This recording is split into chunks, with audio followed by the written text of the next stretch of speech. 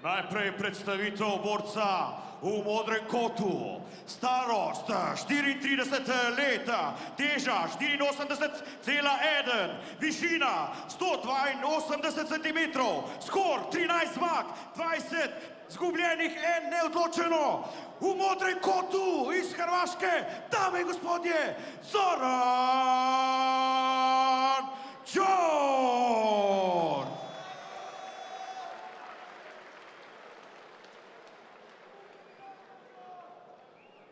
I.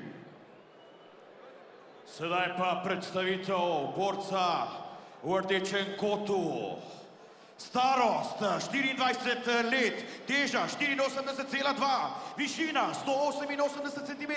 Ko govorimo o skoru, dve zmage, štiri porazi. Iz Kampije, dame in gospodje, Abdu Sov!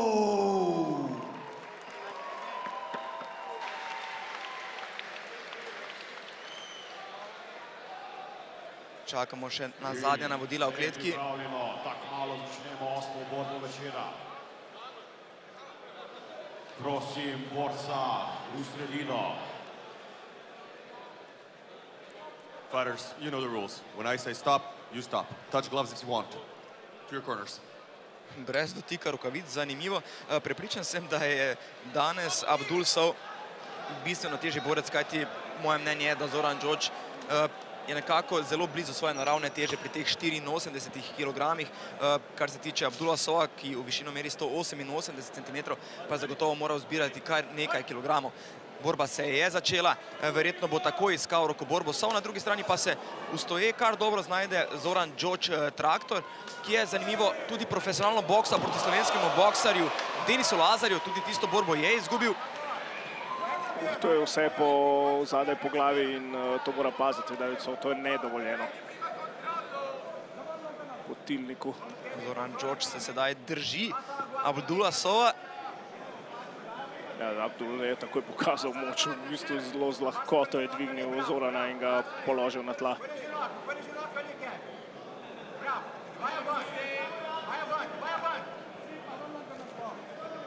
Ja, nekaj je jasno, Marko. Eh, Ta borba traja dlje, kot je trajala tvoja borba proti Ja, traktorju. Sedaj že, sedaj že, ja. Bomo videli, kako se bo Džoč rešil z tega položaja. Eh, Zagotovo pa bo tudi sodnik počasi opozoril Sova, naj bo bolj aktiven. Sicer poskuša z udarci v telo, ampak tudi Ja, tudi je roko na ne srce, nar- eh, ja, Džoč ne naredi nič, da bi prišel iz tega položaja V bistvu oziroma da bi pobegnil. Mislim, da hoče preprosto, da ga dvignejo. Sedaj pravilno dela. Ali bo Zoran iskal armbar? Ne bo. U, močno sedaj. Sov sedaj bi moral izkoristiti tole priložnost eh, Džoč in se pobrati. Džoč krvavi. Rana mislim, da pri levem očesu, tako da eh, kri ne oteka v oko, ne moti njegovega vida. Ja, Zorana to ne bo nič ustavilo, kolikor ga poznam. Je pa tudi nekaj, ne, te mišice eh, Abdula Sova potrebujejo veliko kisika in to bi lahko pomenilo, da se bo borec iz Gambije hitreje utrudil kot morda Zoran Džoč. Vemo pa tako ali tako, traktori so zelo trdoživi. No. Oh, kar vrgel je na tla, zelo je- surova sila je bila tole. Očitno je zelo močan. Sedaj precej slabši Uh, položaj že Džoča. udarci. Ampak išče armbar sedaj Zoran, ampak eno nogo je pustil Ja, skrito pod telo.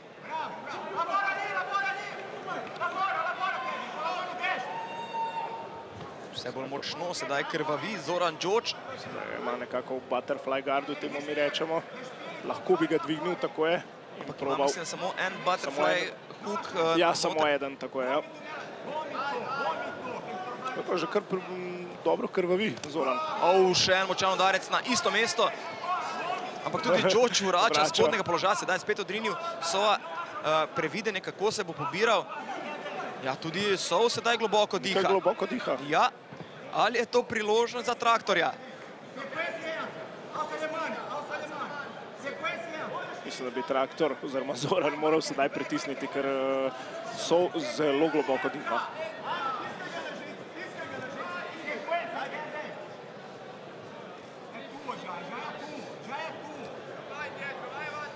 Zoran bi moral preprosto bolj pritisniti.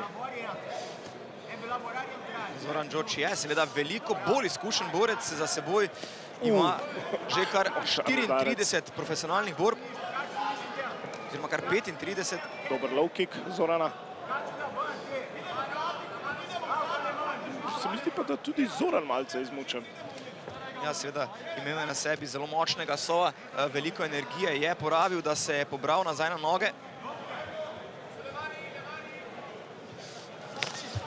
Uh, lepa, lepa levica uh, Zorana.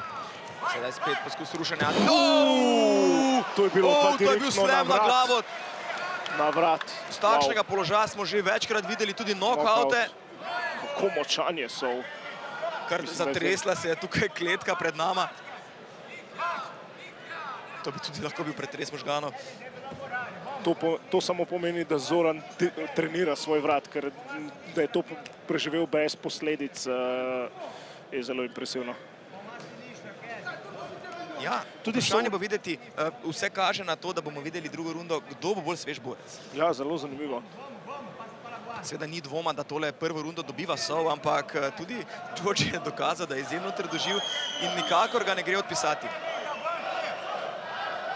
Da se pritožuje Zoran Džos, da ga udarja po tilniku. Sov sicer trenira v Italiji, v Fight klubu Firenze. In pa, Zoki, Zoki. ja, občinstvo je na strani Zorana Džođa. Ja, težko je biti proti človeku, ki ima nadimek traktor. In ki ima v glavo ubrite kratice MMA. Ja. Temu se reče strast. Ja, konec prve runde. No, sedaj bomo pa videli. Mislim, da sta oba borca porabila precej, precej energije. Ja, tudi George je otrujen. Uh, George je oskočil kot pozna zamenjava vprašanje, v kakšnem trening procesu je bil. Na drugi strani pa je tudi Sov s temi rušenji in pa eh, z borbo po arteriju se precej utrudil. Može, hočemo. Ajde. Ja, precej enostavni nasveti v kotu Zorana Georgea, a bomo, dajmo, gremo.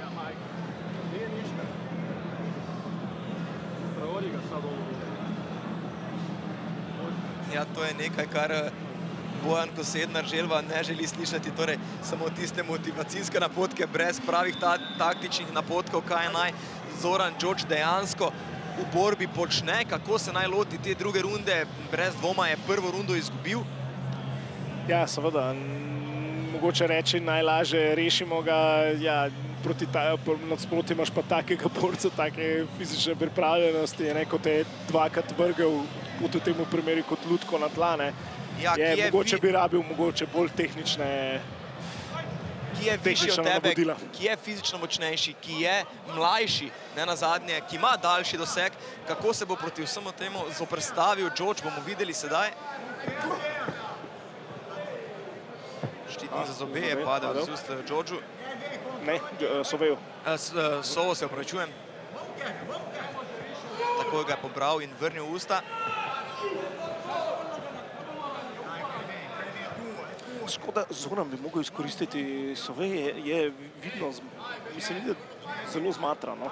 Mogoče bi lahko izkoristil treninge, da trenirajo sambo in ga malo pritisnil ob kletko, mogoče spihal te njegove mišice. Tako, Tu se je na Georgea in padla sta borca eh, točno pred vendar, eh, eh, naju. Bomo videli, če mu bo uspel ta takedown. Ima, Opa, ima nogo, išče single leg. Sedaj je A, spustil ja. vse skupaj, je škoda. škoda.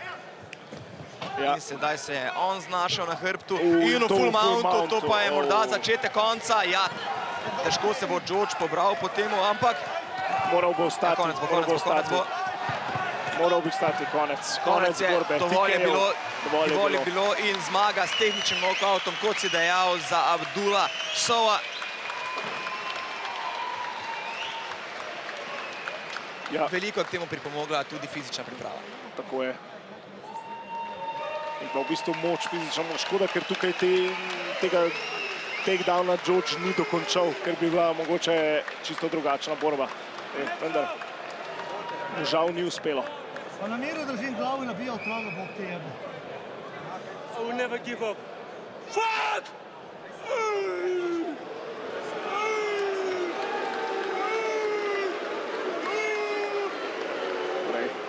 Abdul Sove pravi never give up.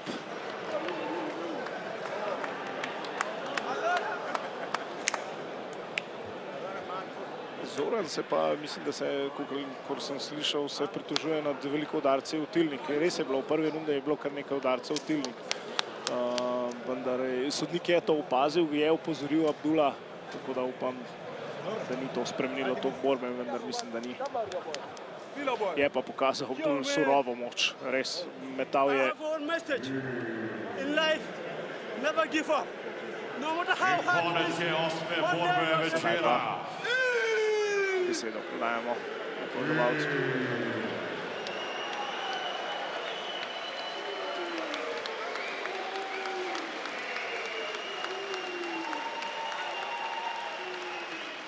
Prosim borca v sredino na razglasitev.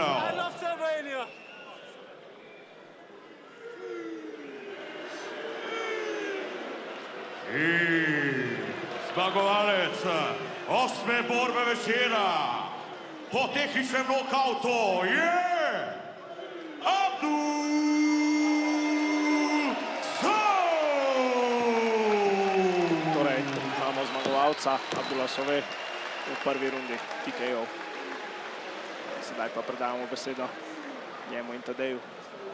Abdul, uh, great performance. What does a win against a crafty veteran like uh, Zoran George mean to you?